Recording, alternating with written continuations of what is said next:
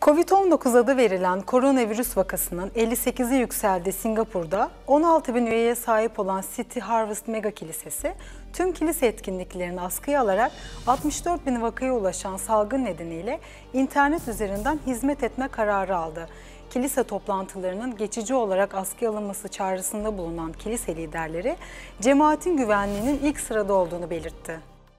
Singapur'da 16 bin üyeye sahip olan City Harvest Mega Kilisesi tüm kilise etkinliklerini askıya alarak 64 bin vakaya ulaşan salgın nedeniyle online hizmet etme kararı aldı.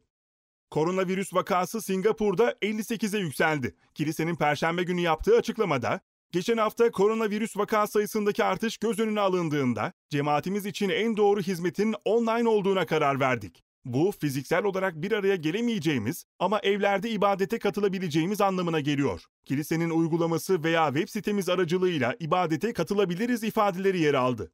Kilise toplantılarının geçici olarak askıya alınması çağrısında bulunan City Harvest Kilisesi liderleri, yeniden bir arada toplanmayı dört gözle beklediklerini ancak cemaatin güvenliğini ilk sırada tutmaları gerektiğini belirtti.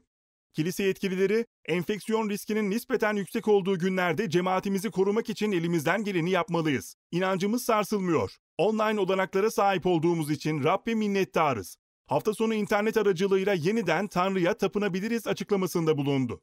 Ateş, öksürük ve nefes darlığı semptomlarını içeren koronavirüs vakaları Çin'de 64.345'e ulaştı.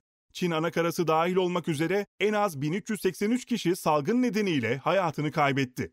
5.7 milyonluk nüfusa sahip olan Singapur, Çin dışında en fazla koronavirüs vakasının görüldüğü ülke durumunda. Singapur'da henüz salgına bağlı olarak hayatını kaybeden olmasa da enfeksiyonu önleme konusunda çalışmalar devam ediyor.